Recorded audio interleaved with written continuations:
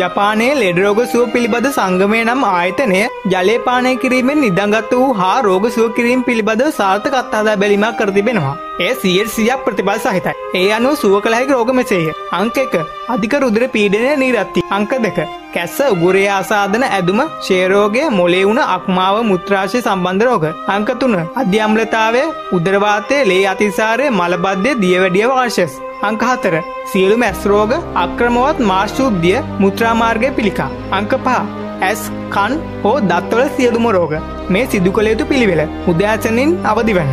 දත්මැදීමට පෙර මිලිලීටර් හයිසිය හත්ලිය බැගින් වතර බෝතලයක් මද උන්වතුර ප්‍රමාණයක් බොන්න.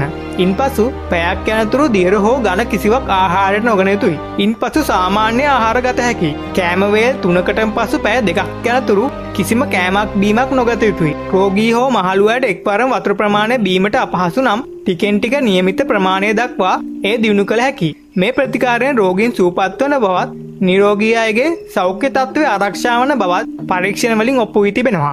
මෙම ක්‍රමයෙන් එකක රෝග සුවමීන්ට ගත වූ කාලය මෙසෙයි. රුධිර පීඩනය සුවවීමට දින 30යි. දියවැඩියාව සුවවීමට දින 30යි. උදර වාතය සුවවීමට දින 10යි. මලබද්ධය සුවවීමට දින 10යි. ක්ෂය රෝගය සුවවීමට මාස 3යි. පිළිකාව සුවවීමට මාස 6යි. වාත රෝග, ආතරයිටිස් රෝගයෙන් පෙළෙන අය දිනකට 3 වරක් බැගින් සතියක් මේ කළ යුතුයි.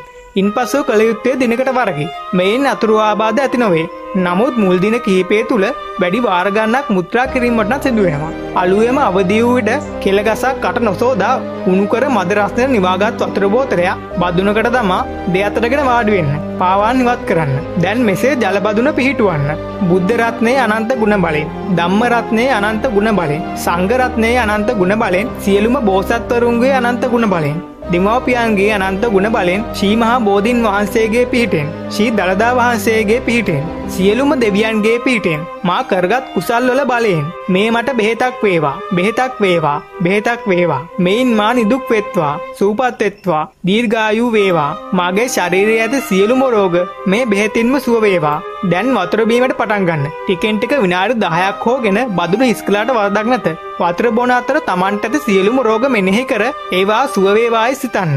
වතුර බිව් පසු පැයක් ගතවනට කිසිම ආහාරයක් හෝ කෑමක් බීමක් ලබා ගන්න එපා. පැයකට පස්සේ උදේ සාමාන්‍ය පළ තේ කෝපි බොන්න. මෙසේ දින 10ක් කරන විට ශරීරයේ බරගතිය අඩුවන වාසේ දැනේ. ඒ ඔබේ සියලුම රෝග සුවවීමට පටන් ගන්නා කාලයයි. යළි කිසිම දිනකෙම රෝගය හෝ කිසිම රෝගයක් නොවැළදේවි. ශරීරය ඇතුළ ඇති සියලුම ඉන්ද්‍රියන් අලුත් වැඩියාවේ.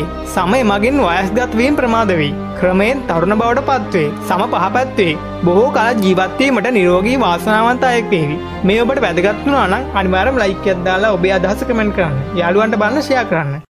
ඉතින් යාළුවනේ ඔයා අපිව තවම සබස්ක්‍රයිබ් කරලා නැත්නම් පහත බටන් එක ක්ලික් කරලා අපිව සබස්ක්‍රයිබ් කරන්න. ඒ වගේම ඔයාට මේ වීඩියෝ එක වැදගත් වුණා නම් ලයික් කරලා කමෙන්ට් කරලා ෂෙයා කරන්න. ඔයාට සුබ දවසක්.